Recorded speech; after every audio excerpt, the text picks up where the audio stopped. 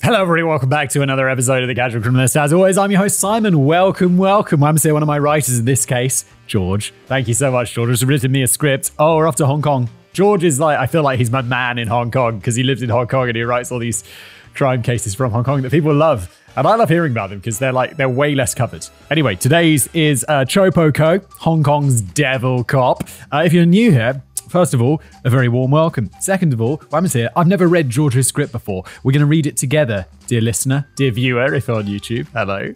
Like that video, click that subscribe button, all those good YouTubery things. And uh, let's just jump in, shall we?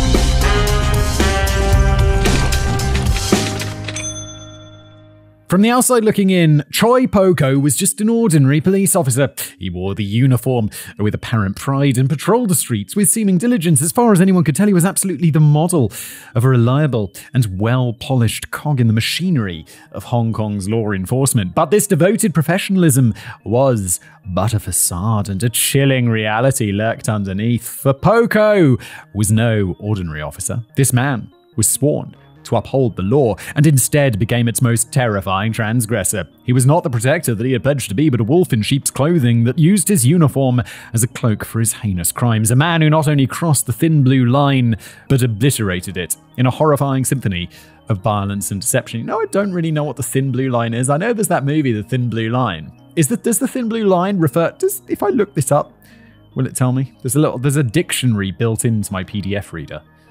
The thin blue line typically refers to the concept of the police as a line which keeps society from descending into violent chaos. The blue and thin blue line refers to the blue color of the uniforms. Oh, that makes sense. Um, the thin blue line is blah blah blah blah blah. Oh god, okay.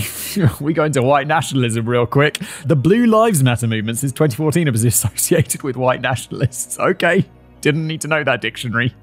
Did we have to go there? In a chilling series of events that shook the very foundations of the Hong Kong police force in the early 2000s, Po Ko committed acts of such unparalleled barbarity that they may seem befitting an outlandish fictional crime figure rather than a biographical documentary. But the devil cop, as he would known to become, was very real. The crimes that made up the twisted symphony he composed, bank robbery and the cold blooded murder of both his colleagues and members of the public. Today, we're going to be delving into the enigma that was Po Ko, exploring his dual life as a devoted public servant and a dark souled murderer, untangling the sinister web of lies and treachery that surrounded his life, and ultimately trying to get to the bottom of what exactly made his warped and twisted mind tick. Oh. George, I tell you what, I tell your audience as well. When I picked this one, there were three options that I had to record today. There are three scripts waiting for me in my little recording queue. And I was like, oh, it's Sunday morning. I'm going to choose one that's. And I saw this one and I'm like, Devil Cop. This sounds more like, you know, corruption and money and like gangs, which I know are all bad things, but they're not murder. They're not murder of the public, murder of cops. They're just like financial and like gangy and like less intense. And that's why I chose this one. And it turns out to be about murder. Oh god, the next line. The next so strap yourselves in because this is an intense one. George, I tried not to I chose a non-intense one on purpose based on the title. And here we are. Chapter 1. The first murder. Tsui Po Ko's first victim was 24 year old Constable Leong Shin Yang, whom he murdered on the 14th of March 2001. Okay, literally, first line, second page is uh, about a dude getting murdered. What have I chosen? I should have chosen the one about. I'll tell you what the other options were if you're interested. Uh, the other options that I had to record today were Jim Jones and the Zodiac Killer. So, yeah, you can see why I chose this one, and now I realize I've made a mistake.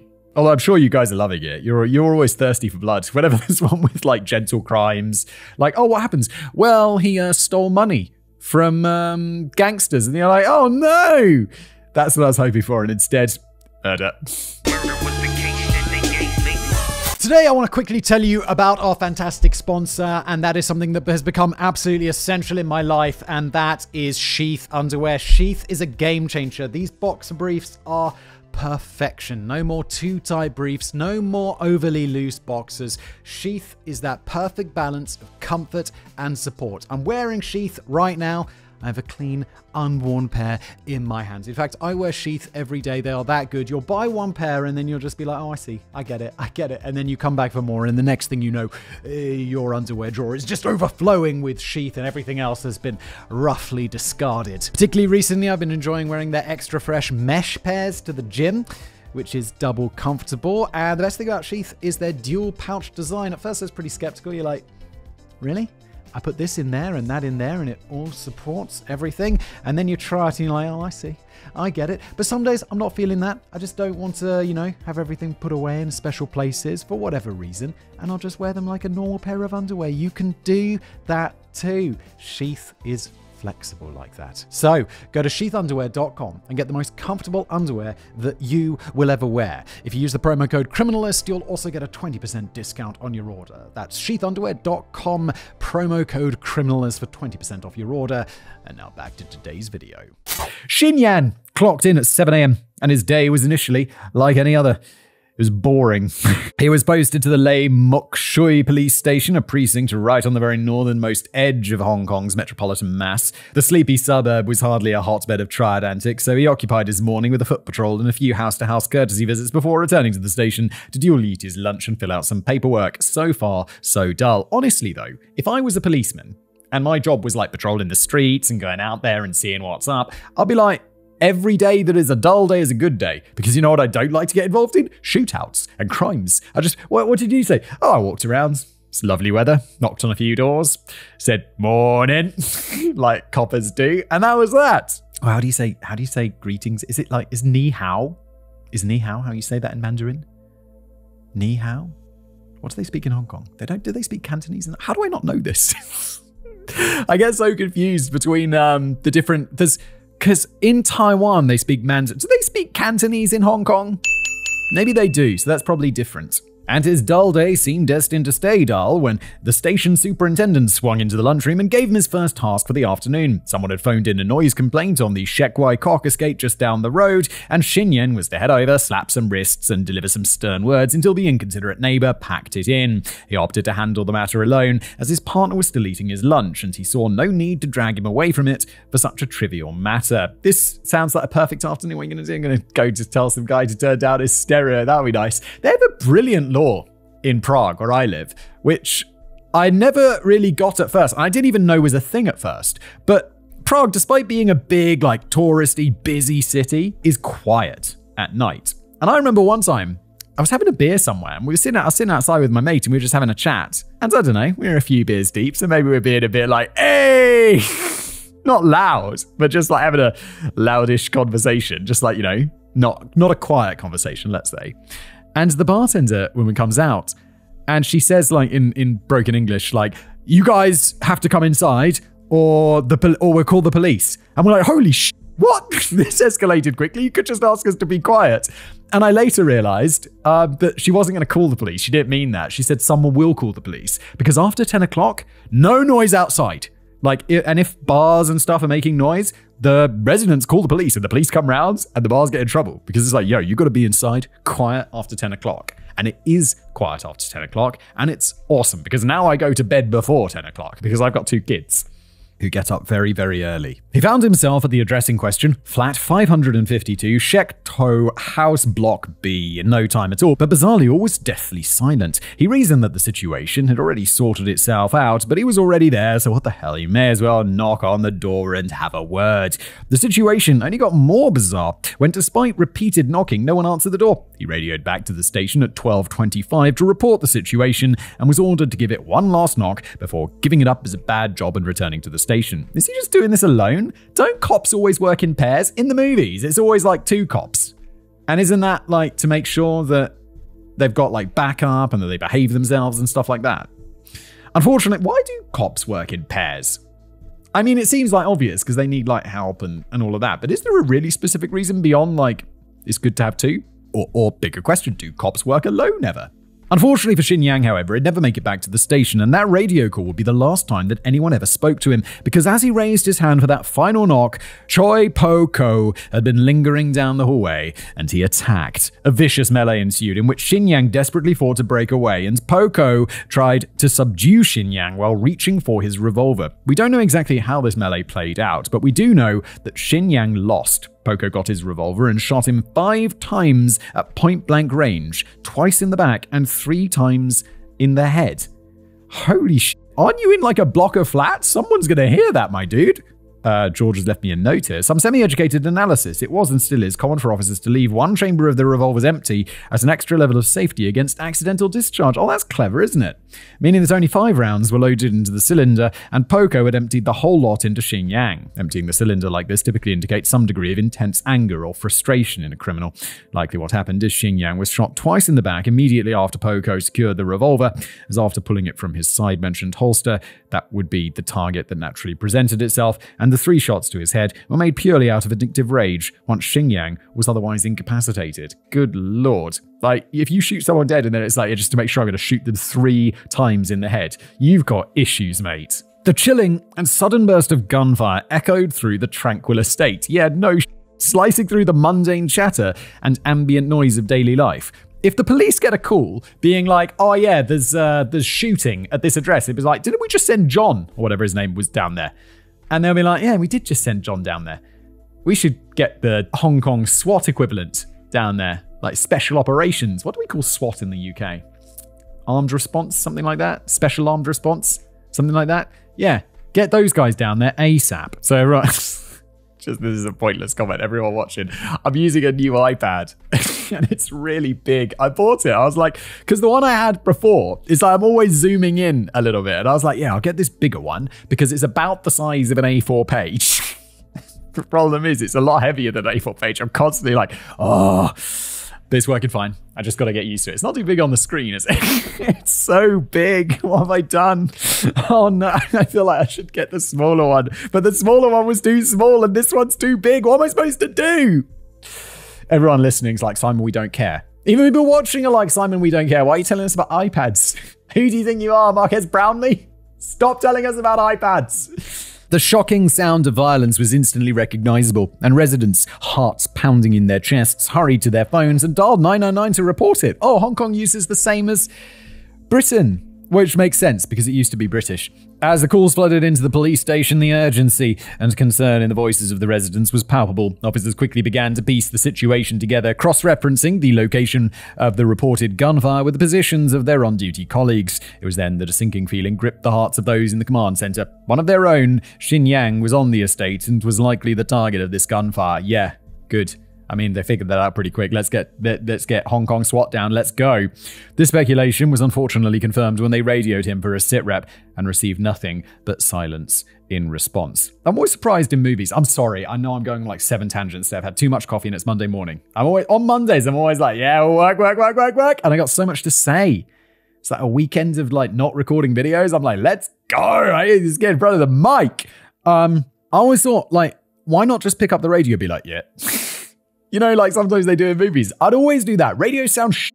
You'd just be like, go ahead. just like in a generic voice. go ahead. Without missing a beat, the police sprang into action, desperate to get to their embattled colleague and any injured civilians before it was too late. In an instant, the Lei Muk Shue precinct was a ghost town as every single officer on duty downed tools and raced to the scene. Leading the charge was the station's police tactical unit. There we go. PTU, Hong Kong SWAT, a crack team of highly trained and heavily armed officers. By 1229, only three minutes after the first 999 call, they were in position, their Saxon APCs forming a mighty ring of steel from which nothing would hopefully escape. But they would not be penetrating the building. That would fall to the Special Duties Unit, or SDU, Hong Kong's SAS trained SWAT team. Oh, there we go. So Hong Kong's got like two different SWAT people. The best of the best. They arrived at the scene at the same time as the PTU, having been dispatched by helicopter from the police's rapid response station at the airport. For them, their response was one of pure instinct, honed through harsh and demanding training. They had no time to sit around and debate strategies. There was an active shooter in the building, and every second of dallying was another second that other officers and civilians could be getting killed. Their approach was two pronged. Four fire teams would enter the building, two from the top, having rappelled onto the roof from their helicopters. Sick. And two from the ground floor. In each direction, one team would take point, clearing the building floor by floor, corridor by corridor, room by room, while the second teams hovered on their heels and evacuated civilians to the safety of both the roof and the cordon on the ground. This is so cool. This is like a movie. I mean, look, I know someone's just been murdered, but it's like you can't deny that this response is. This is the moment in the movies where you're like, let's go. It's exciting. Immediately behind the ground teams was a group of paramedics who had the most unenviable task of treating the wounded and recovering the dead. Fortunately, these brave paramedics were at least well protected, as not only did they have a wall of black clad handy lads covering them, but the PTU had also insisted that they take their body armor before entering the tower block. The crowd outside which now comprised not only the PTU, but also a cohort of curious locals, watched on with bated breath as the building was penetrated and a steady stream of rescued civilians flowed from the building. For several minutes, time flowed in a circle as a constant repetition of apartment clear, no hostiles, civilians evacuated was called out over the radio. This repetition was only broken when the ground teams reached the fifth floor, and the call of officer down, fifth floor, was made. The paramedics immediately leapt on Xinyan, clinging to the faint hope that, contrary to what their lying eyes were telling them, they might somehow be able to save him. Bruh. I mean, he got shot three times in the head. It's like, I guess you gotta, like, give it a crack, but it's like, bro, he's been shot three times in the head. His head is probably not looking in the best of states. I always found it quite interesting. Is it, I think it's, it's true in the UK, I don't know if it's true in the US, but only a doctor can declare someone dead. So if, like, someone, they arrive at, like, uh, I don't know, a horrible chainsaw accident and someone's managed to chop their own head off using a chainsaw. the paramedics will be like, well, let's put him in the ambulance, see what they say at the hospital. and then I was like, and I declare him dead.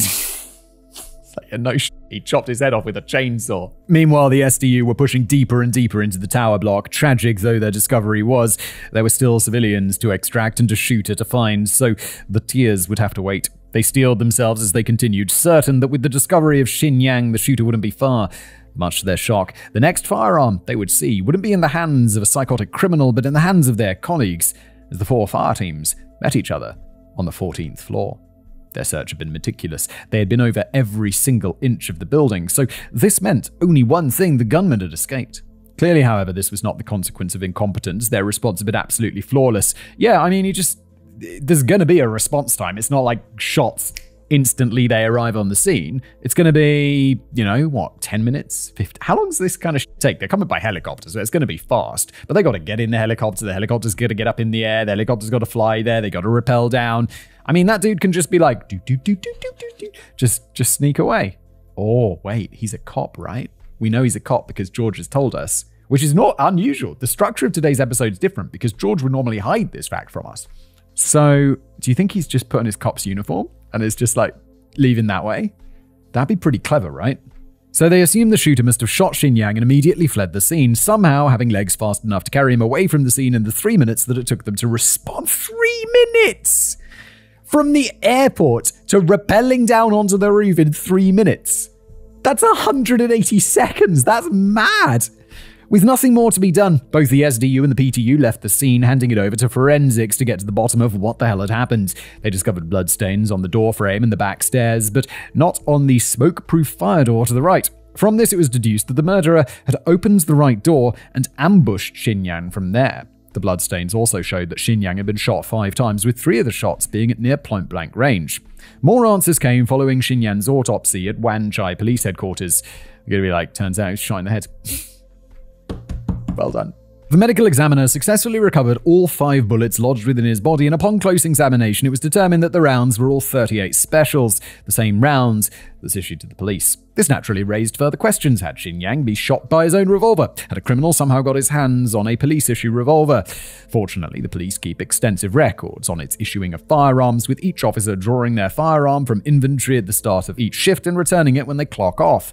What, so you can't buy the same round that the police use? Oh, wait, maybe you can't. I remember reading about this. Like, we don't have guns on the police in the UK, but in America, the police have. Is it called hollow point rounds? The ones that when you shoot, they go into a body and then they like they burst on purpose. So like if the police shoot someone, then it doesn't go through and through and hurt someone else. Whereas you can't buy those bullets as a civilian, right? Because they're deemed to be like too dangerous. Because if you shoot someone, then like a through and through is a much better result than like little fragments of bullet going all the way through your body. The serial number would be noted by the armor at both points. In addition, a monthly inventory was carried out on every police cache to make sure that nothing had gone missing. Thanks to these meticulous procedures, the police knew that not a single firearm had gone missing, which left only one possibility. Xin Yang had been shot with his own revolver. The revolver which also happened to be missing and was now unaccounted for somewhere in Hong Kong. Yeah, that's what I would assume. You'd, that's the general assumption you got to make, right? That someone grabbed his own gun and shot him with it. This gave detectives a possible motive the theft of Xin Yang's firearm. Wait, how desperately do you need a gun? But they were taking nothing for granted in this case. The theft of a police revolver could have just been the icing on the cake for the killer. What if someone had a grudge and was targeting Xin Yang specifically to settle some sort of vendetta? Yeah, why why would you immediately be like, I have motive, he wanted the gun? Just if he wants a gun, just go and buy a gun. I mean, how complicated can it be? I mean, it's probably complicated. It's probably not easy to just go and buy a gun. But like, black markets exist. Sorry, the law requires a five day waiting period. Five days? But I'm mad now. I know it's crazy, but like with the internet these days, surely, like 10 years ago, whatever, you could just go onto like the dark web, right? And buy all sorts of, you could like buy yourself a new identity and like black tar heroin. Surely people were selling guns. Wasn't there a Vice documentary or like a documentary like that about some like dude in the Netherlands who just bought a gun on the internet? I mean, the internet's not got like less dodgy in the last 10 years, has it? How hard would it be to just, I mean, okay, but this is, I know this is the past. I'm just trying to say, robbing a police officer of his own service weapon is probably not the easiest way to procure a gun. I'd much more assume, oh, this guy's a cop, he's probably upset someone, like a gang, and they've killed him in retaliation. That's what I would assume to be motive. He's a cop. To get to the bottom of this, they interviewed 350 of his friends, colleagues, and family members. Oh my god, this guy was. I just I don't know 350 people for sure. I feel like if someone's interviewing my friends, they probably have to talk to like 10 people and that'd be it. And they'll be like, oh, Simon's really sad. He's got no friends. And my family's not, also not big. No one had a bad word to say about Xin Yang, and by all accounts, he was an upstanding guy who would never do anything that would inspire any kind of perverse murderous ire. Also recovered from the scene was a mask and some stray clothing fibers from the killer. They were carefully analyzed by forensic experts who were desperate to uncover more information about the elusive killer that we know to be Po Ko. Using advanced scientific techniques, they managed to extract DNA evidence from these seemingly innocuous items. This was a huge breakthrough, but sadly, not one which would lead to any arrests, as after running the DNA samples through every database they could get their hands on, not a single match was found. So, that's interesting. A cop's not DNA sampled? I feel like that'd be pretty important, even if it's just for like, if there's a crime scene and they're running the DNA just to be 100% sure, wouldn't you also have the cop's DNA, like the forensic experts' DNAs, also on file, just in case there was some contamination, so you can rule that out? There was little else they could do with the DNA for now, except keep it on file and wait until a match popped up in the future.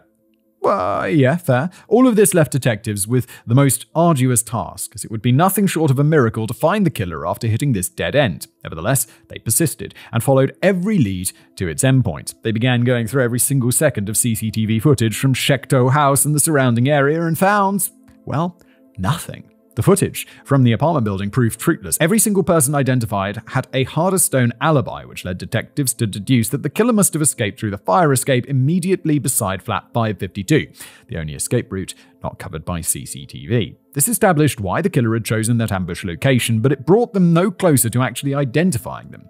Footage from the wider area proved equally useless. The greater distances of the footage made it harder to identify passers by, and those who could be tracked also had watertight alibis. All hope was not lost. Over 15,000 people lived on the Shek Wai Kok estate. Surely one of them had seen something of use.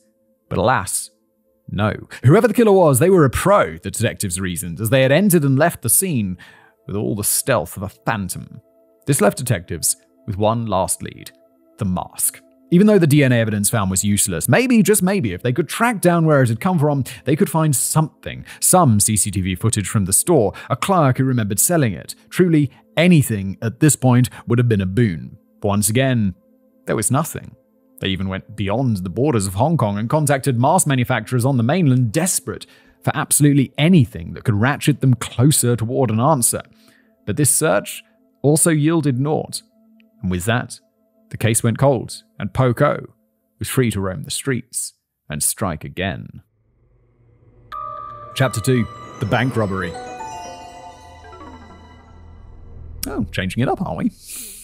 This is a completely different crime, okay. As the clock struck midday in the Belvedere Gardens branch of Hang Seng Bank on the 5th of December 2001, all appeared to be normal. At the counter, an elderly woman was withdrawing her pension for the month, and to her side was a young man making inquiries regarding a car loan. Beside them stood a small group of half a dozen or so people, all staring at the clock with great disinterest as they waited to complete their day's dreary financial chores. Yeah, I hate doing shit like this. We have to actually go somewhere. It doesn't happen very often anymore. But sometimes I had to go to the post office, like to get a document legalized, like where there's like um, a notary. And I had to go there and you take a ticket and you wait in line, you have to go up and you show someone your ID. It's like, can't we do, isn't there a digital way to do this? Why have I had to walk across town to go to this bloody office to get like a document notarized? Like, what year is it? The mundane scene wouldn't last long, however, as a short while later, when the clock ticked over to 1221, the great glass door that separated the sleepy bank from the hustle and bustle of Hong Kong streets was kicked open with a mighty crash, and through it stormed Po Ko. Like many of the patrons already queued up, he was there to make a withdrawal, but unlike them, he wasn't carrying a bank book. Instead, he was carrying Xing Yang's revolver. It was a robbery. Immediately, Po Ko waved it high for all to see and issued the usual threats that bank robbers tend to issue get on the fucking grounds and heroes get bullets. He then began advancing on the teller's counter as fast as his legs would carry him. His approach was not an easy one, however, because as soon as he took his first step forward, he was intercepted by Zafar Khan, the bank's armed security guard. Holy sh! Okay, go for it, Zafar. Zafar had only milliseconds to react and found himself with a very unenviable choice to make in that short time. Did he try to bring his shotgun to bear, a process that between pulling it round, shouldering it, and cocking it would have taken several seconds, and almost certainly escalate the situation into a shootout that would put civilians in danger, or did he try to talk him down, leaving himself unable to react, but potentially better able to ensure the safety of civilians? Bro, those aren't your only two options. What the, third option is get on the ground and don't do anything. It's just money. It's just a bank. The civilians aren't in danger if he just gets all the money. Is that a security guard's really supposed to interrupt like a bank robbery like this? Aren't they supposed to just be there to discourage bank robbery? But in the real, also a, sh- a shotgun that takes. It, what sort of situation is this guy supposed to defend from if it takes him ages to like bring his weapon to bear? He chose the latter and selflessly placed himself in Po Ko's path without any hesitation. Oh, bro, you're gonna get shot, my dude. Engaging him in conversation with a simple question What are you doing? He answered this by pushing the muzzle of his revolver into Zafar's forehead and barking a simple command at him Throw your shotgun onto the floor now. Zafar was having none of that, and he ignored the command, unwilling to give up his potential leverage over Po Ko. Instead, he pushed his fear aside and continued trying to talk Po Ko down. George, what leverage do you mean? He's, what? This guy has no leverage. He's not got that shotgun in his hands and he's got a gun pressed against his forehead. Don't mess around. Turn around and leave, he said, his determined voice never cracking nor showing fear. Po Ko was not moved by Zafar's bravery, however, and simply repeated his earlier command. But once again, Zafar refused to comply, and so, with it being clear that he was not going to play ball, Po Ko pulled the trigger, sending a single 38 special round into Zafar's temple. He immediately crumpled onto the floor, and just to make sure his resistance was over, Po Ko put another round in his chest. I'm sorry, Zafar, I know that you got killed, but what outcome did you really expect here? Like, what are you doing? Why would you do this? But Zafar was not out of the fight just yet. What? He just got shot in the head and the chest! Contrary to what Hollywood tells you, shots to the head, particularly shots from small, low velocity rounds such as 38 Special, tend to not instantly be fatal. Whoa, really? And so Zafar mustered the last of his strength and began reaching for his shotgun as the world around him went dark and fuzzy, managing to pull it round, cock it, and begin raising it towards Po Ko. Try as he might, however, he was unable to get a shot off, and Po Ko noticed what he was up to, and then sadistically stood above him and, in deranged bemusement, put one more bullet in Zafar's head as the shotgun was shakenly raised towards him. He finally fell down dead. Zafar's sacrifice was not in vain, however, because while he might have only kept Po Ko distanced for half a minute at the longest, these precious few seconds had allowed O Li Jing, the branch manager, to sound the alarm. She first hit the silent alarm under her desk, then retreated to a shrouded back corner of the bank to call the police, giving them whispered, almost muted updates of the ongoing situation. These updates would soon be cut short, however, as Po Ko, having dealt with Zafar, then turned his attention back to the telecounter and the precious loot that lay inside of it. He leapt through the glass security partition on the edge of the counter and onto the desk. It was then that he spotted Li Jing speaking into the phone, who he could easily spot from his new elevated position. What are you doing, Li Jing? I feel like pressing the alarm button is enough. Then just get down on the ground and just wait for the police to arrive, who will do their job, and hopefully this won't turn into a hostage situation. If I was in this, A, I don't feel like it's being a coward in this situation to just get down on the ground and be like, like if I was a civilian in that bank, just hanging out, just like getting my car loan or whatever, I'll just be like, get down on the ground. And then I saw this like it was like a documentary by one of these survival guys or whatever, and they were like the best strategy is just to become just blend into the background as much as possible. They call it being a grey man, just a grey person. Just like if you're in a hostage situation, just don't look at them, don't draw attention to yourself, just sit there silently and comply. Don't do anything. Just let them forget about you. That's what I would do. Like, it's not my money, it's the bank's money. Let's just take the money. Like, you want some help? Infuriated by her interference with his plans, he raised his revolver and let off a single shot. Fortunately for Li Jing, however, for some reason, Po Ko chose a warning shot rather than an aimed one, discharging his revolver into the ceiling. He then issued a threat Don't move, I have a bomb. Drop the phone and get down on the floor. Poor Li Jing was absolutely terrified, but not so overcome with fear that she wasn't able to make a very smart and calculated move as she obeyed his demand, leaving the phone off the hook so the police could continue to listen in.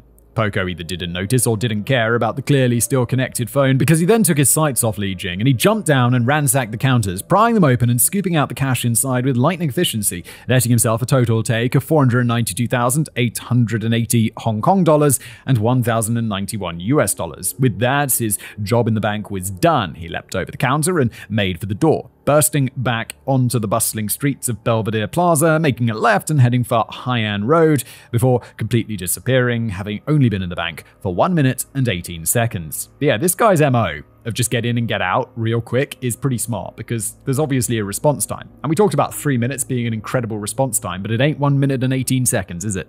With the coast clear in the bank, staff and customers alike dived on Zafar, desperate to aid him however they could, but their efforts were to no avail. He was already long gone. Meanwhile, Jing steeled herself following her ordeal and got back on the phone to inform police of the developing situation, who informed her that they were en route and would be there at any moment. The police were true to their word, and less than a minute later, the PTU's Saxon armored cars were screeching to a halt outside the bank. They moved with a choreographed precision, securing the bank's perimeter as their trained eyes scanned the scene for any signs of the culprit. Meanwhile, other units fanned out into the surrounding neighborhoods, their gazes sharp and their senses alert, hunting for any traces of the elusive robber. They sifted through the urban maze, their radios crackling with updates, and their hands steady on their weapons. But fate was not on their side. Po Ko had slipped through their grip and gotten away once again. Simultaneously, paramedics arrived at the scene, their focus firmly set on Zafar. They hastily loaded him into an ambulance and made for Hong Kong Adventist Hospital. They exchanged grim looks as they departed, their faces reflecting the grim reality of the situation.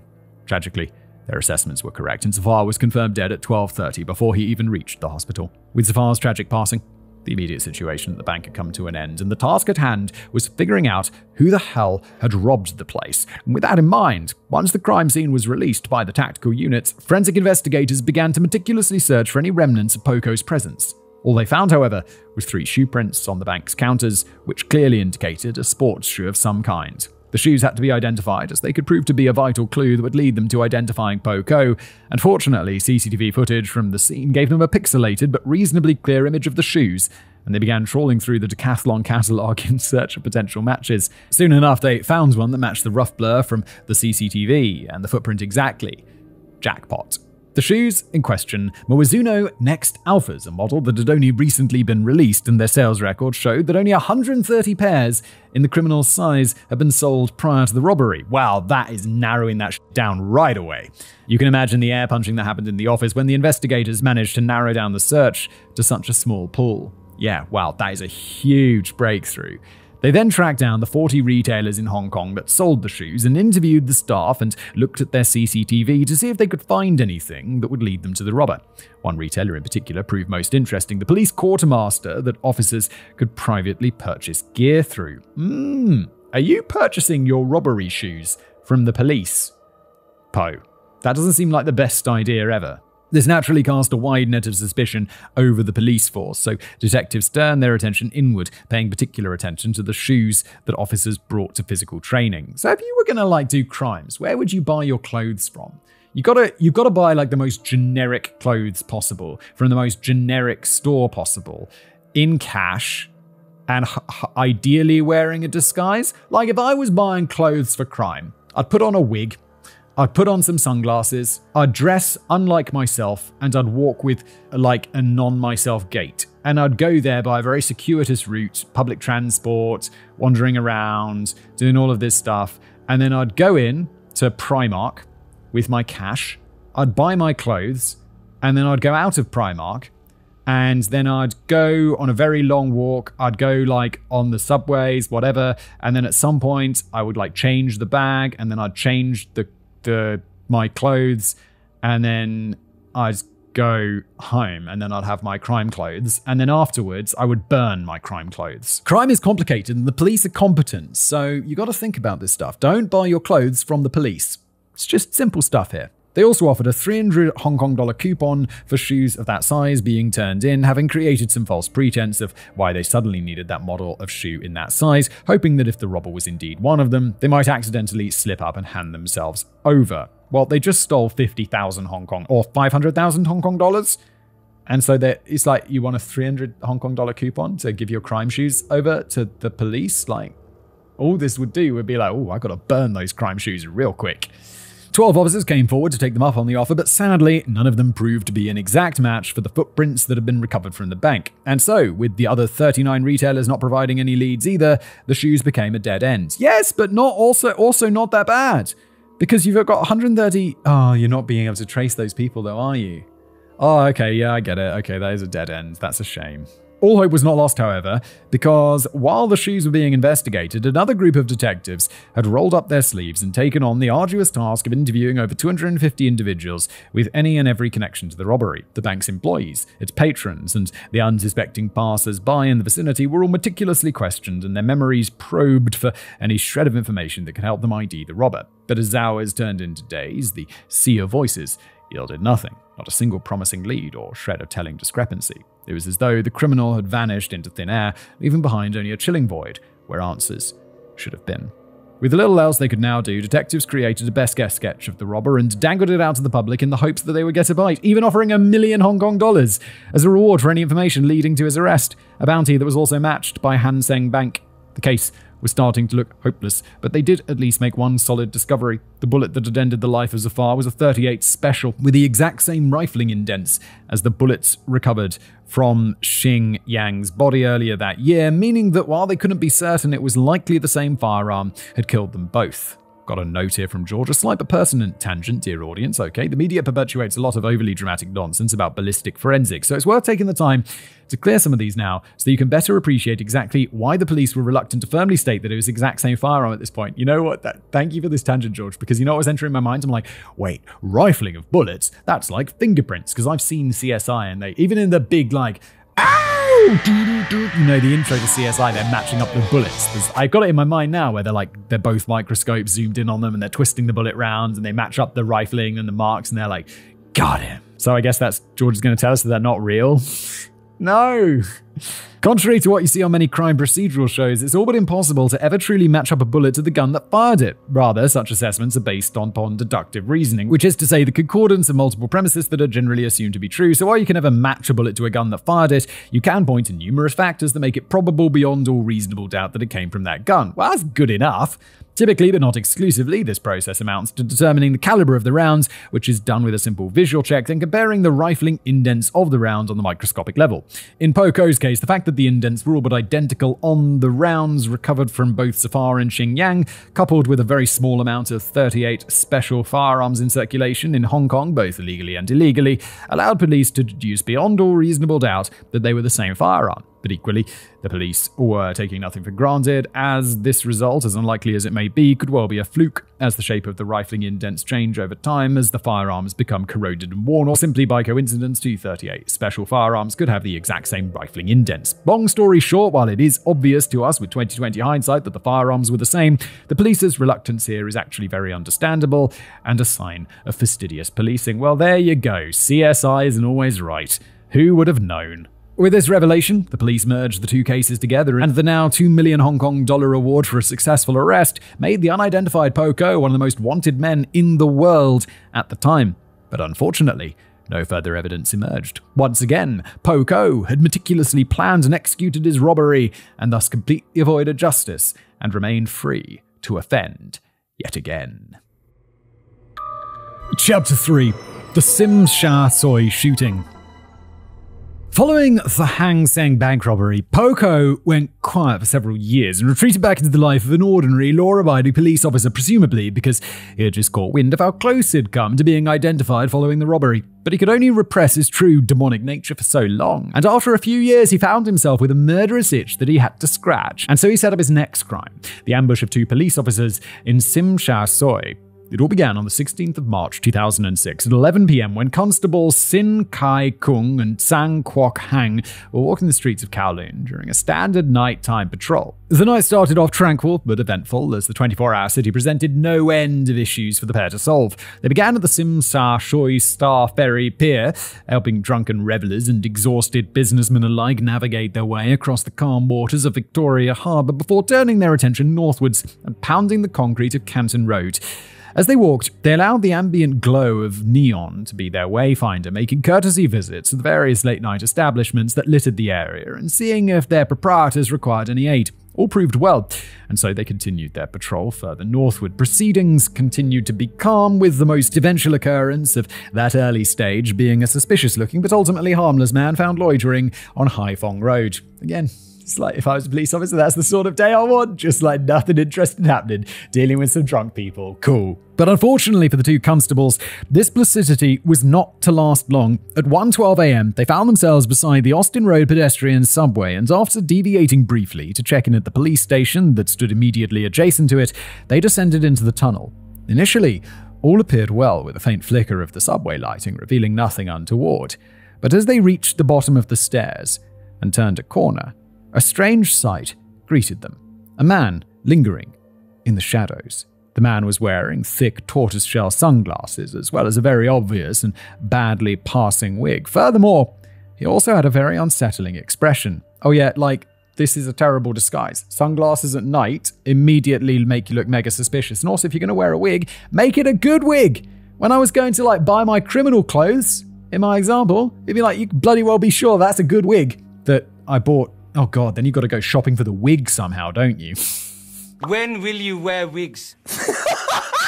Crime is complicated. Naturally, this attracted the curiosity of Ka Kung and Kwok Hang, who moved in close to investigate. They initially gave the man the benefit of the doubt. Bizarre though the scene was, there was every chance that there was a reasonable explanation a mental health crisis, intoxication, or simply just an unorthodox fashion sense. Yeah, most of the time, the dude wearing the like tortoiseshell sunglasses and the the wig on the subway is just a dude wearing like he's just a bit of a weirdo. He's just a weird dude. He's not doing crimes, except the times that he is. This benefit of the doubt was to prove fatally misplaced, however, because the man, of course, was Po Ko, and he was waiting in ambush. Sure enough, as the officers moved closer, he pulled Xing Yang's revolver from his waistband and opened fire. Ka Kong and Kwok Hang had absolutely no time to respond, and before they could even process what was happening in the shadows, let alone have time to draw their own revolvers in response, four rounds had been sent their way, two for each of them. For Kwok Hang, who had been the closer of the two to Po Ko and thus received the most accurate fire, the results were immediate. He took a round to the temple in the neck and immediately fell to the floor. Kakong was hit too, but luckily for him, one of the rounds destined for him missed altogether, and while the other hit him in the face, it only glanced his eye socket. This immediately left him temporarily blinded, but still very much in the fight. Immediately, his muscle memory, honed through countless hours of monotonous and repetitive training, kicked in, and without even having to think about it, he found himself bringing his revolver to bear and pulling the trigger once to clear the empty safety chamber. Procedure at this point would have been to repeatedly pull the trigger until the threat had been neutralized, but Kakong knew that this wasn't an option, as there was no cover at all in the subway that he could dive to, and if he started exchanging fire while so exposed, sure, he would have probably been able to neutralize the shooter, but the shooter would also probably return the favor. Wait, he already shot you, dude? Exchange of fire has already began. It's time to shoot back. So, with few other options, he did the only thing he could do try to disarm the shooter. He's not the. What am I missing? If this was me, I'd be like, bro, you getting some lead right now, son. Bang, bang. What? That's not the only option. He advanced and discharged as much fire as his short approach would allow, one single round, which duly found its way into Po Ko's torso. Oh, okay, okay, okay, sorry. George was saying he could do the thing. He's got to disarm him, but he can still use his gun. I thought for some reason, because apparently I'm an idiot, that he's putting his revolver down and trying to disarm him with his hands. Which in retrospect makes absolutely no sense and illustrates my small brain. So uh, let's carry on. He then discarded his revolver and initiated a melee, putting all of his weight into a fierce charge while doing his best to grab the revolver. Unfortunately, Po Ko is a strong guy and he managed to resist Kakong's charge, and so the two found themselves in a grapple for life and death. This wasn't quite the disaster it may first sound, however, because while he no longer had his own revolver in hand, he had also taken away Po Ko's ability to shoot him. Not for want of trying on Po Ko's part, however, because as the pair wrestled, he desperately tried to get his muzzle pointed at Kakong so that he could finish the job. Unfortunately for Po Ko, however, he had met his match in Kakong, who was able to match his strength, and so he began firing wildly in desperation. He let off two further rounds, one of which completely missed, and the other hit Kakong in the foot. This made him recoil and take his strength off Po Ko, who then managed to break free from the melee, and with a sadistic smile firmly plastered on his face, he took a step back, reloaded his revolver, and pointed it at Ka Kung. But Po Ko had let his guard down. He had been so fixated on neutralizing Ka Kung that he had given no thought to Kwok Hang, assuming him to be dead. Yeah, I, I'd, although this dude's shot me before, he turned out to like not be immediately dead, like the dude with the shotgun at the bank. I know it's been a few years, but don't you remember? This assumption proved to be very, very wrong, as Kwok Hang still had some life in him yet, and he was laying down on the floor, revolver drawn, desperately praying that the melee would separate before he bled out so that he could save his partner. And so, when Kakung recoiled and took a step back after being shot in the foot, Kwok Hang did what had to be done and emptied his cylinder in the nick of time, placing all five rounds on his target and sending Po Ko to the floor in a crumpled heap. Let's go! Is this the end? We're only halfway through the episode. He shot him five times, though. What's he possibly going to do? That's it. You've been shot five times? What's happening? He then holstered his revolver and made a chilling single call on the radio. Shots fired on the Austin Road underpass. Multiple officers down, send help. Then, with his duty done, he took one last look at his injured but very much still alive friend, smiled, and collapsed back onto the floor hero. That call was made at 1:14 a.m. and with the police station being so close, the first responding officers, Sergeant Hua Ji Huang and Constable Lin Zheng Zhong, were on the scene in less than a minute, arriving breathless with revolvers in hand. As they descended the subway stairs, they were greeted by a scene of abject bedlam. Blood, spent cartridges, and tar fragments were strewn everywhere. To their right lay the unresponsive Kwok Hang, and immediately in front of them was Kakung clinging to Po Ko's collar with all his remaining strength. Without missing a beat, the two officers sprang into action, with Ji Kwang leaping onto Kwok Hang to begin administering first aid, while Zhen Jiong handcuffed Po Ko and turned his attention to Kakung. Is this it? Is this the arrest? I see, I already see, like later down this page, there's the chapter 4 investigation. So that's it. He's already. I like it. Let's go. Shot him five times. Boom. Mere seconds later, an entire station's worth of PTU officers piled down the stairs, after which, with the immediate scene under control, they were ordered to span out, secure the area, and ensure that the inbound ambulance had a clear path. That ambulance arrived mere minutes later, and Kwok Kakung, and Po Ko were all raced to Queen Elizabeth Hospital, with the latter being accompanied by an MP5 wielding PTU officer just to be safe. Despite having been shot twice, Kakung's injuries were found to be minor, and he was back on his feet in no time. The same was he literally back on his feet? He got shot in the foot. It's probably going to be like, it's going to be a minute, isn't it? The same could not be said for Kwok Hang, however. The hospital's sterile white walls echoed the solemn finality of his fate. And so, having lost far too much blood and sustained far too much physical trauma, he was declared dead at 1:47 a.m. But in a final act of mercy, fate did at least allow him to outlive Po Ko, who was declared dead 2 minutes earlier. And so, at long last, the devil cop was dead, and with him now lying cold in the Wan Chai police headquarters mortuary, it fell to detectives to piece the story together. It's going to be a hell of a piecing together because we're only halfway through. Is half of this episode going to be investigation? Let's go. Chapter 4 Investigation. With evidence from the scene still being recovered, the detectives on duty on the 17th of March had one task identifying Po Ko. We, of course, have known his identity for this entire video, but don't forget, he had totally evaded identification up until this point. Fortunately, this task had proved to be an easy one because as they clocked on early that morning, they emptied their pigeonholes and found a note from the PTU officer that guarded Po Ko when he was taken to the hospital. It turned out that it recognized him That was a hell of a tip, but it still needed confirming, and so, armed with copies of Po Ko's Hong Kong identity card and police ID, they descended into the basement and towards the mortuary, where, sure enough, the tip was correct. It was indeed Po Ko, one of their own. This revelation was an unsettling one. Across police headquarters, silence descended like an all smothering shroud as the unthinkable revelation spread. A miasma of disbelief, betrayal, and sorrow suffused the air. The detectives, usually stoic figures of unwavering resolve, now found themselves wrestling with an insidious unease as they tried to process this betrayal, most foul. But ultimately, those considerations would have to wait. There was still a job to be done, and so the detectives steeled themselves and continued their investigation. Officers were immediately dispatched to Rader's home, his lockups, his police locker, anything in any way associated with him, and stripped them bare of all their evidence. This naturally took some time. So, in the meantime, other detectives occupied themselves with piecing together Po Ko's movements on the day of the Tsim Sha Tsui incident, and by the end of that same day, by combining his work schedule with CCTV footage from both traffic cameras and businesses in the surrounding area, they fully understood his movements. They discovered that he'd clocked off work and left Lantau North Police Station at 11:48 p.m. and then headed for his home at Yu Tung Court on foot before then jumping on his motorbike and heading for the Yat Tung estate. From here, he hitchhiked his way to Yau Ma Tei and walked southwards down Nathan Road to the Austin Road subway, arriving on the scene at 12:21 a.m., less than an hour before he ambushed Ka Kung and Kwok Hang. Although it pained them to admit it, detectives could only be impressed by the meticulousness of his planning. By using a vehicle not tied to himself and completing the final leg of the journey on foot, tracing him would have been highly difficult, if not impossible, had he not been foiled and caught red handed. This at least answered the how and the what questions. So now the detectives turn their attention to the why. This would be a much more elusive question, and one that would take much longer to answer. Fortunately, the day spent piecing Po Ko's movements together had given the detectives time at the crime scene and the house to do their thing, so now a steady stream of evidence was flowing into police headquarters. What is his motivation? I mean, Stealing the gun was just a bit strange. That just seems like he wanted to murder someone. Robbing the bank can be for money. The murder of these two officers just seems like he's a psychopath who wants to murder people, which is really hard to pin like a motivation on. It's just what's his motivation? He likes killing.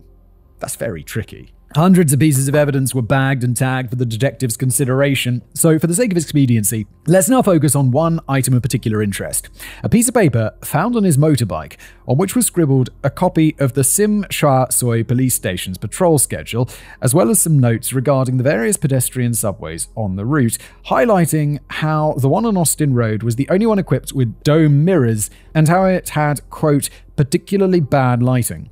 This chilly revelation made it apparent to the detectives that they were not dealing with a deranged crime of impulse here, but one that had been carefully and meticulously planned. And once again, they begrudgingly had to acknowledge just how good he was at planning out his crimes. Small pieces of evidence such as this continued to pile up as the days went on, but it was only when they came to investigate Po Ko's revolver that they pieced all three of his crimes together.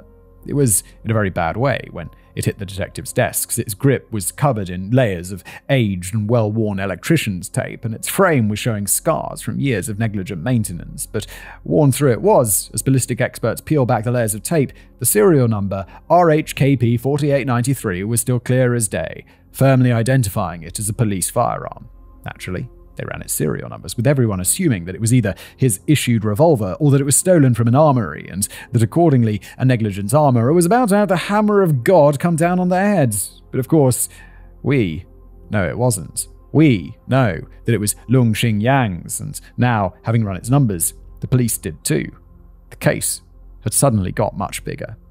But this only firmly linked Po Ko to two of the three crimes that we've discussed thus far, because if you recall, the revolvers used in the bank robbery was only speculative and hadn't been proven beyond all reasonable doubt. They needed something else, something concrete that couldn't be dismissed as circumstantial to really prove Po Ko had committed the bank robbery. Fortunately, with the leftovers of Po Ko's life finding their way to Wan Chain Steady Flow, that connection arrived soon enough. Specifically, it came from the contents of Po Ko's TV cabinet, in which were mementos of his participation in the 2000 Yinchuan International Motorcycle Festival and a diary which mentioned a red tracksuit, which sounded very similar to the one we saw earlier on a very particular CCTV image. Naturally, the detectives were like moths to a flame over this discovery, but it still wasn't enough. The evidence by this point was still circumstantial. Sure, by this point, Po Ko was waddling like a duck, quacking like a duck, flapping his wings like a duck, so generally could be assumed to be a duck, but assumptions weren't good enough, because what if, somehow, it's just one hell of a coincidence? So, with that in mind, detectives delved further into the box, keeping their fingers crossed and praying that they'd find the tracksuit jacket from the CCTV images. But alas, it was nowhere to be seen. What was found, however, were several Polaroid photos of him in the jacket, and it was a one to one match for the jacket from the CCTV. So, bingo, they'd nailed him. What are you doing? How can you be a cop and be so shit at crimes? Like, you got this red tracksuit from like a motorcycle festival that you went to, so it's going to be quite unique. If you're wearing just a regular Primark jacket, no one's going to know. It's just a generic jacket. What have you done? And why haven't you burned it afterwards? Why haven't you burned those pictures? It's the least you could do. Ultimately, despite an exhaustive investigation, no connections to any other crimes would emerge. But that wasn't the end of the detective's work, not by a long shot. There were still many questions to answer and many blank details that needed filling in. What's more, given the particularly barbaric and unusual nature of Po Ko's crimes, the detectives were determined to leave no stone unturned. So, with that in mind, the investigation ploughed ever onwards.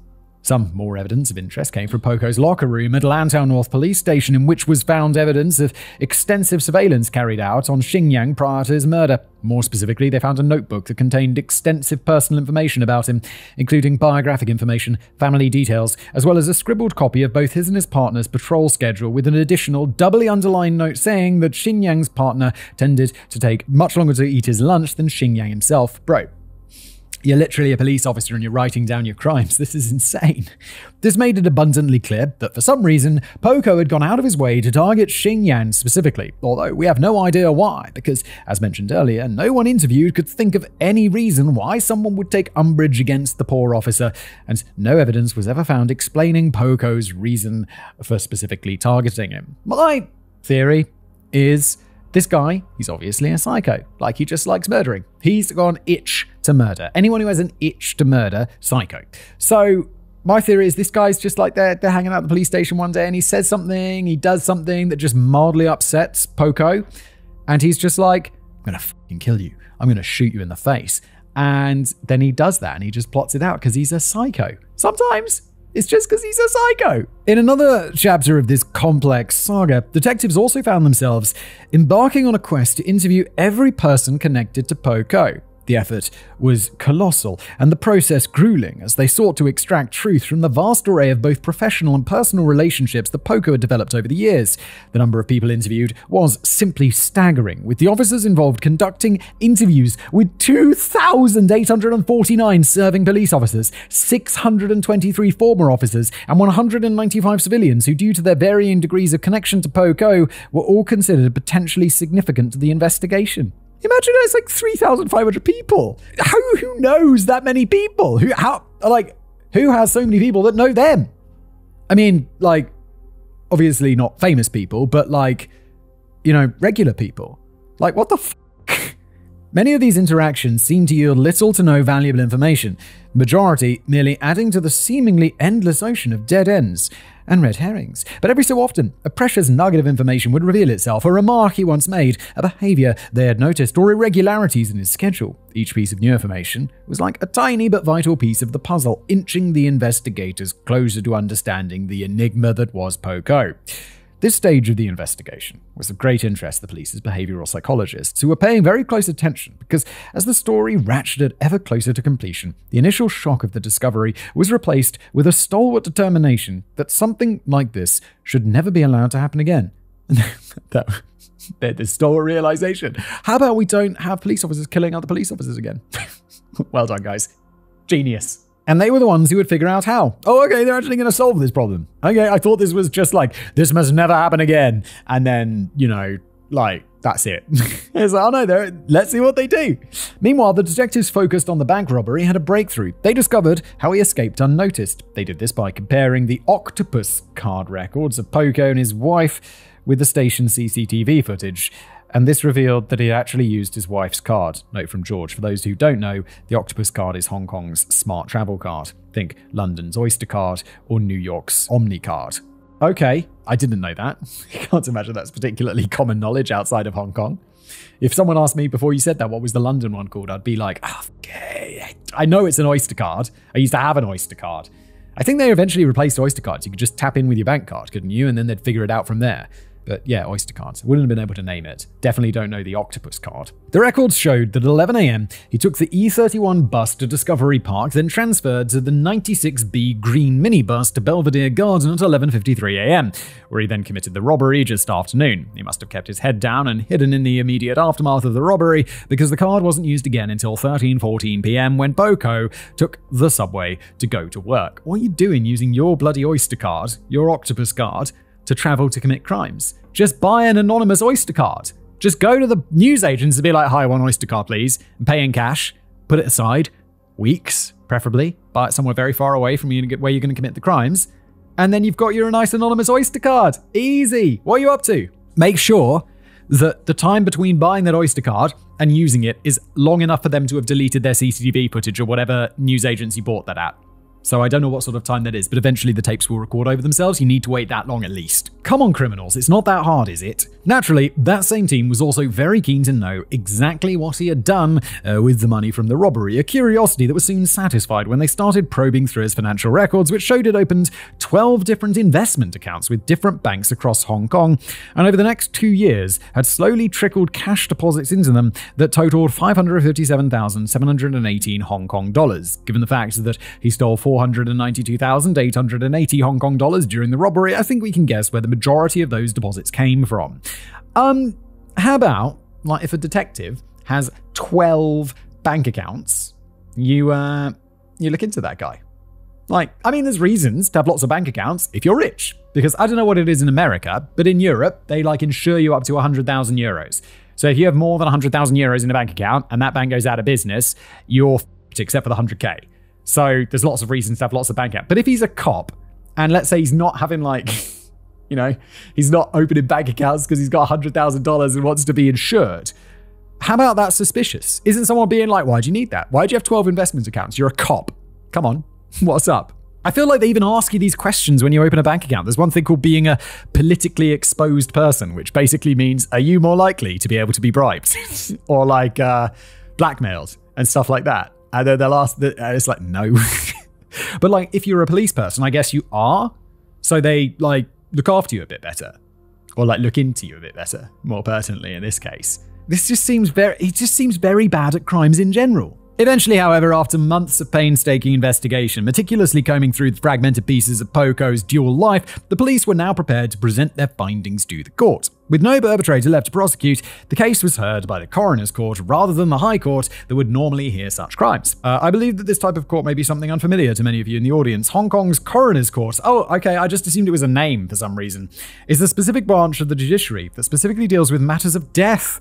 Oftentimes, it's responsible for things that are quite mundane death certificates, autopsy requests, etc. But it's also tasked with investigating the causes and circumstances of deaths suspected or known to have been criminal in nature. So this court's dealing with really important and really boring shit. It's like, next on the docket, issuing a death certificate for John.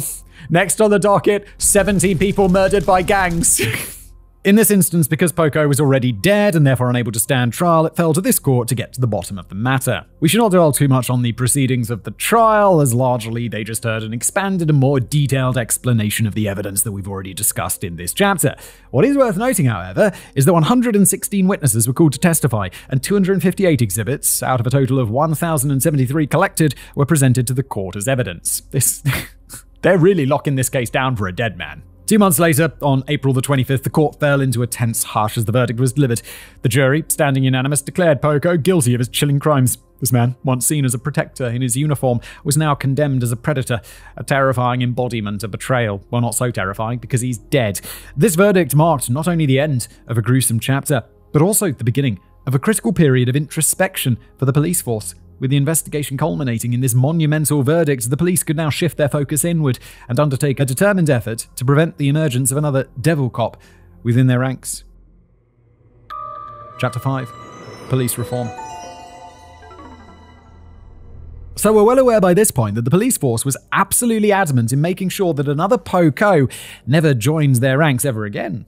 But how exactly did they do this? A major reform was the introduction of a stricter procedure for handling complaints in reporting rooms. Now, officers were obliged to request Hong Kong identity card details from any individual reporting a crime in order to add a layer of verification and protection. Whoa, whoa, whoa, whoa. They're obliged? That seems a bit much. It's like, yo, I want to report a crime anonymously. And if they're like, well, we need your ID card, I'd be like, well, I'm not going to report the crime then, am I? Because I want to be left anonymous because I don't want to be killed. Like, what the of course, the effectiveness of this measure was not without its limitations. It relied on the honesty of the reporting individual, and during emergencies, it was instructed that officers be dispatched before the identity was confirmed. Yet, despite its flaws, this process was a clear attempt to provide some measures of safety against ambushes like the one that ended Xing Yang's life. This seems very onerous.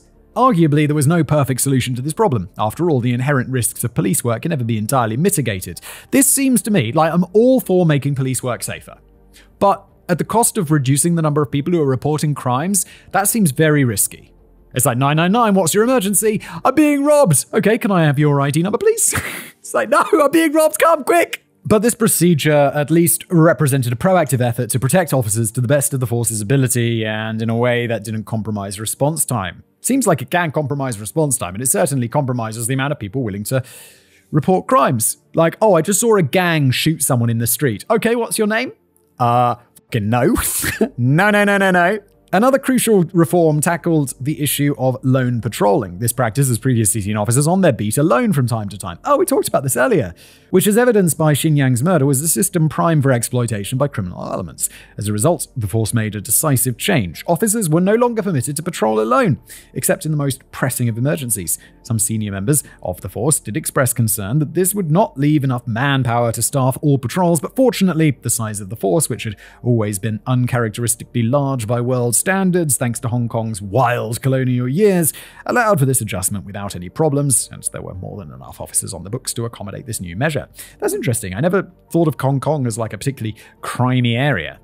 But apparently, maybe it's because they've got loads of police. Finally, and arguably most crucially, was the rigorous and comprehensive re-evaluation of the mental health screenings for potential officers. That seems like a much better way to handle this. Po Ko's crimes made it blatantly clear that a basic psychological assessment was insufficient to determine a candidate's suitability for policing. And so the force introduced world-leading mental health screening for all recruits. Great idea! It seems like generally a good idea that you should mentally vet your police officers. Like, that seems like a good idea for every country everywhere. Like, it would mean there's less police who are psychos and shooting people and killing people and causing all sorts of trouble.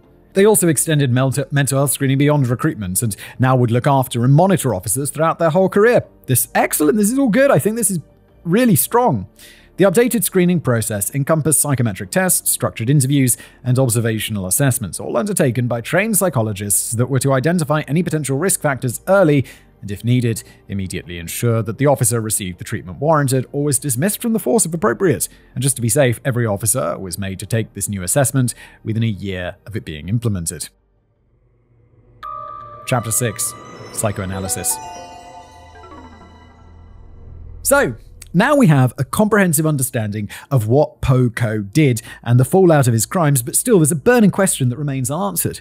Why? Why did he commit such brutal crimes? What drove him to such depravity? I feel he's just a psycho. I have to say, normally in these casual criminal episodes, we always start with the guy's background, where he came from, how he got super up. We flipped the script today. Ultimately, that is a question we don't have the answer to. Oh, okay, that's probably why we flipped the script, because there's no like, he was born here and he had abusive parents and blah, blah, blah, making of a murderer. Po Ko's death meant that he could never receive a full and proper analysis from psychologists, and furthermore, despite the litany of evidence he left investigators, an explanation was not among it. This leaves us having to speculate and draw what conclusions we can from the scraps of evidence that he did leave us. Fortunately, we're not the only people to have had these questions, so rather than having to draw from the lowly pontifications of a humble YouTube wordsmith, there is an absolute wealth of expert insight that we can draw upon, so let's dive into it. I wonder how true my theory will be. It's just like he was a psycho who liked killing people. Is there more to it? There's more, many more pages, so I guess so. The first such analysis comes from one Dr. Zhu Pei Hong, a clinical psychologist who was serving with the police psychological service division at the time of Po Ko's death. He led an investigation based on discussions with Po Ko's family and 16 letters that he wrote to his wife immediately preceding his demise. Dr. Zhu found that during his early years, his parents made every effort to shape him into an industrious young child with exceptional self assurance and self control. Uh oh. I feel like that's what I'm trying to craft my children into like industrious, good self assurance, good self control, all those things. I think these are super positive traits, like industriousness. And that's, that's getting done. His upbringing was also found to be free from any irregularities or abuse that could have served as the foundations of a mental collapse. The closest thing to trauma that he found was some initial integration struggles when he relocated to Hong Kong from the mainland at the age of seven, mostly from having to adjust to speaking Cantonese rather than Mandarin. Well, there we go. There's an answer to earlier question. They speak Cantonese in Hong Kong. Otherwise, Po Ko's earliest years appear to have been generally joyful and happy. Not what I expected, to be honest. Similarly, Dr. Zhu uncovered no real problems during Po Ko's adolescent years, noting that by this stage he was fiercely intelligent, with a reading age well in excess of that of his peers. He was also exceptionally independent as a teenager, being perfectly happy in groups, but more than content with his own company. This seems like a regular, above, way above average dude. All in all, it appeared as though he was perfectly well adjusted and a normal teenage boy. But Dr. Zhu, normal teenage boy, he seems like he's like he's a better than a normal teenage boy. But as Dr. Zhu continued to probe into his adult life, potential issues and triggers started to present themselves thick and fast. Po Ko's parents had gotten divorced in 1990, and despite being age 20 at the time, he appears to have taken this very, very badly. Family had always been important to Po Ko, so this divorce, which came as a complete surprise to him, was akin to his entire world being torn apart. He coped with this by placing all of the blame on his father, with whom his relationship all but ceased following the divorce. Still, though, his psyche appeared sound all in all. Dr. Zhu also pointed to his police record during this period. Po Ko had first joined the force in 1993, and as much as the psychometric tests of this period were admittedly crude, as we discussed earlier, they still highlighted nothing of concern. Furthermore, there were no marks on his record for unwarranted violence or aggression in his early career, so the question is where did it all go wrong? According to Dr. Zhu, that turning point was 1998, when two major events occurred that warped his mind dramatically. The first was a failed promotion to operations sergeant, which made him hateful toward the police force and exceptionally envious of other officers who were climbing the ladder quicker than him. Yeah, this is tough, especially like he's obviously bright and industrious and all this stuff. He's like, why aren't I getting this? Why is it someone else and not me? Like that's that's yeah, but so what? There's plenty of people that discover their dream career wasn't all it was cracked out to be and confine themselves to a life of punching in and punching out and just collecting a paycheck. Yeah, but this isn't this guy. Plenty of people are like this, but this guy's personality is not wired that way. But they don't go on murder to murder their colleagues, do they? So surely there has to be more to it. Yeah, I'm not saying like like if I was in this position, I'd be feeling the same way as this dude. I'd be like, what the f-? like I'm working hard, I'm doing everything right. Why aren't I getting promoted? Like I'm trying, like all of this stuff and then I'd probably just change jobs or I'd have to find something that I'm better at because I wouldn't like to be left behind. Um, but no, I would probably wouldn't go on and murder my my colleagues. that seems insane. And by probably, I mean I definitely wouldn't. Well, sure enough, there is. And that would be the second turning point in 1998 that Dr. Zhu identified. Remember that divorce? The one that Po Ko blamed his father for? Yep, I do, because it was two paragraphs ago. And had subsequently cut off all contact with him as a result? Again? Yes. Well, it turns out it was actually his mother who caused it by cheating on her husband with another man and being caught in the act, which Po Ko found out about in 1998. The sudden revelation threw his entire perception of the world into question and he began to be riddled with self guilt and excessively questioned absolutely everything about the world around him. According to Dr. Zhu, this was the point that the cracks in his psyche started to show as psychotic and schizophrenic tendencies began to gradually take over his mind. But Dr. Zhu also stressed that this transformation was a slow and gradual process. It was not overnight by any stretch of the imagination, and that Po Ko had plenty of time to recognize the changes that were happening in him and try and seek help. Oh, just like that, right? Yeah. I mean, seeking help is not that easy. It's really not that easy. And I imagine, like today, it's a lot easier than it was in the 1990s. Like, there's been a stigma around mental health, and there is a stigma around mental health for a very long time. Indeed, it appears that for a time, that was exactly what Po Ko tried to do, as in mid 1998, he took a sabbatical from the police force and embarked on a 3,000 kilometer cycling trip across mainland China to, and I quote here, clear his head, in addition to regularly reaching out to his younger brother to discuss his inner struggles. Unfortunately, this would do little to dispel the demon that was brewing inside of him, and over the following years, his mental health spiraled even deeper. Upon returning to the force in late 1998, he finally got the much coveted promotion to operations sergeant, but turned it down in favor of serving as a traffic officer, reasoning that a more actiony field role would suit him better. But this choice ended up soft blocking further promotion because the natural progression beyond this point was to try out for the SDU, a role which he was firmly rejected for on account of his unwillingness to give up smoking and drinking. There's a there's a note here for me, slight tangent, but the entry requirements of the SDU are actually kind of insane, and it's easy to see why they're such absolute units. In addition to being flatly banned from smoking and drinking, as previously mentioned, potential SDU officers are expected to demonstrate exceptional intelligence, via their high school qualifications and tests conducted during assessment, as well as physical excellence through feats such as multi hour long swims in near freezing water, repeated weighted runs up and down Hong Kong's highest peaks, and continual bodyweight exercises to the point of total failure. Putting all his eggs in that basket might have been a tad foolish, and I don't think anyone would be able to try out for the SDU and be sure of their success. That sounds intense. So you got to be like super. You got to be willing to do it for one. You got to be super smart, so there are other options open to you. Plus, no drinking, no smoking, and you got to be a physical specimen. That sounds extremely hard. For Dr. Zhu, this was when Po Ko crossed the point of no return, when the cracks in his psyche fully gave way, and his becoming a monster became not a matter of if, but when. This was then only made worse by a subsequent relocation to Tung Chung, a sleepy town on the northern tip of Lantau Island, as he found life now dull and monotonous and found himself all but completely cut off from his support network of family and friends, which in turn further drove him to make reckless and impulsive decisions. This loneliness even led him to contemplate divorce, as well as developing an expensive habit of seeking solace in the arms of sex workers. Further still, Dr. Zhu noted that in the immediate lead up to Xing Yang's murder, Po Ko's behavior had become more erratic than ever, bordering on the frankly bizarre at times. For example, he listed himself as unemployed when applying for a replacement Hong Kong identity card and was becoming notably short fused and aggressive at work, showing a clear disdain and hatred for the police force, which had offered him gainful employment for so many years.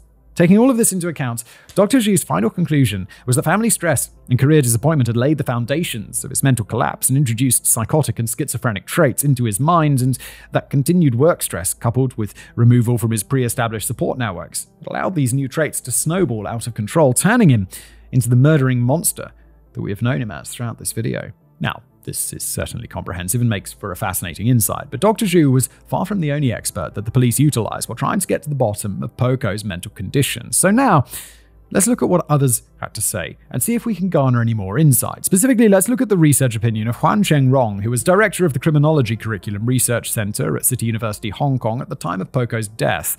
He presented a different hypothesis, speculating that Po Ko's recurrent failures to secure a promotion may have engendered a profound resentment towards his superiors. This, he proposed, could have spiraled into oppositional defiant disorder, a condition characterized by persistent anger, irritability, and a vindictive defiance toward authority figures. When Po Ko relocated to Tung Chung, he found himself bereft of outlets to express his mounting frustration. According to Dr. Huang, this could have prompted Po Ko to seek validation and a sense of achievement outside his workplace, with his criminal activities serving as a twisted form of release from his accumulated discontent. Dr. Huang also suggested that Po Ko's introverted personality could have contributed to a warped self perception of victimhood, breeding a sense of superiority and a steadfast belief in his own infallibility. He pointed to Po Ko's early career success as a catalyst for this inflated self image. A feature article in the official police publication Offbeat, lauding Po Ko's exemplary performance in the police promotion exam, was highlighted as the likely source of an inflated sense of superiority. However, as his career plateaued, this ego was bruised, leaving him embittered in Dr. Huang's assessment, Po Ko may have sought to assuage his perceived failings in increasingly horrific ways, leading ultimately to the shocking crimes that we've discussed earlier. That's super intense. it's like you didn't get promoted to work, so you became a murderer. So, we currently have the opinion of two expert psychologists from Hong Kong, but let's try to expand our perspectives and look at the opinions of those from further afield. Fortunately, there's no shortage of these, as the police themselves sought outside opinion while trying to get to the bottom of Po Ko's mental state. James J. McNamara, an expert in criminal investigation from the FBI, offered an altogether different perspective on Po Ko's motivations. He proposed that Po Ko may have been wrestling with dissociative identity disorder. That's the the the the is that the multiple personality thing? This theory emerged from his scrutiny of witness accounts, highlighting Po Ko's extreme dedication to maintaining physical fitness, his choice of solitary sports, and his notable lack of any participation in social activities, including work related banquets and celebrations. These traits portrayed Po Ko as an introverted individual, seemingly disinterested in social accolades, while simultaneously demonstrating an unrelenting drive for professional growth. McNamara drew particular attention to Po Ko's failed attempt to join the SDU. He also discussed Po Ko's puzzled reaction to his superiors' lack of admiration for his diligent enforcement of minor offenses, as they instead encouraged him to concentrate on more severe crimes. McNamara hypothesized that these experiences contributed to building a wave of frustration in Po Ko. Over time, this simmering resentment might have compelled him to seek the adrenaline rush that he felt his day to day police work lacked. This, McNamara suggested, could have been a pivotal factor leading to Po Ko committing these chilling crimes. Another outside opinion comes from Roderick Broadhurst, head professor of the Department of Criminology at Queensland University of Technology in Australia. Like McNamara, he too was brought in by the police to provide expert counsel on Po Ko's mental state. Broadhurst suggested that Po Ko's high intellect, juxtaposed with his lack of opportunity to pursue higher education, resulted in a profound dissatisfaction with his career in the police force. This discontentment, he believed, reached a tipping point just days before the horrific Tsim Sha Tsui shooting, following a reprimand from a female superior, which likely rekindled latent feelings of disappointment and humiliation. In examining Po Ko's personal life, Broadhurst hypothesized that his interpersonal relationships were superficial at best. He claimed that this was especially apparent in his marriage, which was marred by his repeated infidelity, which further evidenced Po Ko's chronic dissatisfaction with his lot in life. A curious facet of Po Ko's personality, according to Broadhurst, was his possible delusions of grandeur, of molding the world in his own vision. Po Ko, a fervent reader of Chinese and international war history, often expressed contempt for political leaders, hinting at his own political aspirations. A philosophical note found beside his bed spoke of life, purpose, and divinity, suggesting a desire to ascend from his mundane existence to a godlike status. Okay, wait. Jesus. That's, he's, he's beginning to sound quite delusional, isn't he? This brings our expert analysis to a close. We've journeyed through Dr. Zhu Pei Hong's theory of a slow and gradual mental decline due to family trauma and career disappointment. We've covered Dr. Huan Cheng Rong's suggestion of oppositional defiant disorder born from a deep seated resentment. We've entertained James J. McNamara's intriguing proposition of dissociative identity disorder. And lastly, uh, we've reflected upon Professor Broadhurst's notion of Po Ko as an intellectual in the midst of a murderous identity crisis. Which of these is correct? Well, that is for you to decide, dear viewer. I am but a humble YouTube wordsmith, and such answers, if answers to a matter so subjective even truly exist, is significantly beyond my pay grade. Yeah, look, I'll speculate, why not?